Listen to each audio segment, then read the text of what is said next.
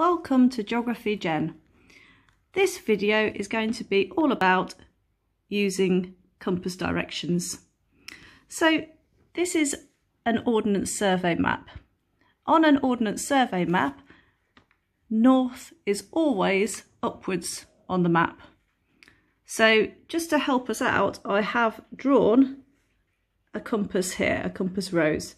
So you can see north is up, east is to the right, south is down, and west is to the left. So to remember these, there is a saying, which you've probably heard of before, which is never eat shredded wheat. That will help you to remember which way round the compass points go. So what you need to be able to do is you need to be able to tell what direction one place is from another. So if you were going to go from one place which direction would you be travelling? So let's have a look at an example. So here on the map, you might be able to see that I've underlined Old Harry's Rocks, which are just here off the end of this piece of bit of cliff here.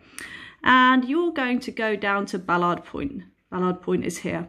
So if you were going to go from Old Harry to Ballard Point, you would be travelling in that direction.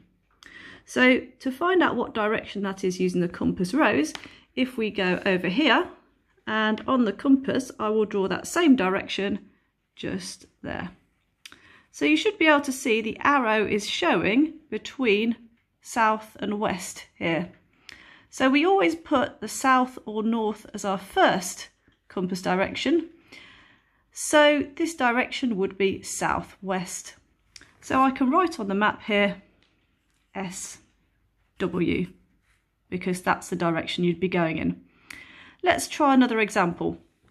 So if we go down here to the southern edge of the map and let's have a look here. So here we've got um, the diving school in Swanage and over here we've got a telephone box. So what direction would you travel to get from the diving school to the telephone box? So you need to start at the diving school and move to the telephone box.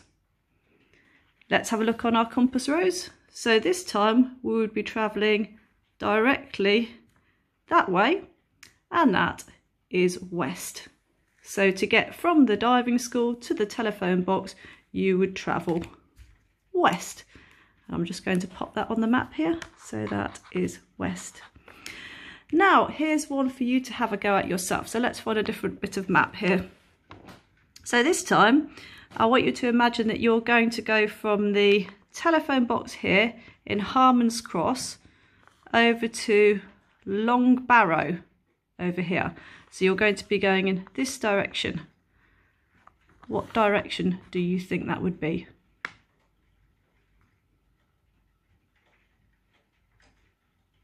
Okay, let's have a look. So let's go back over to our compass and let's draw that direction on. Okay, so you should see it's between the north and the east. So the direction should be northeast. So if we go back over here, we can write on our map, the answer should have been north east.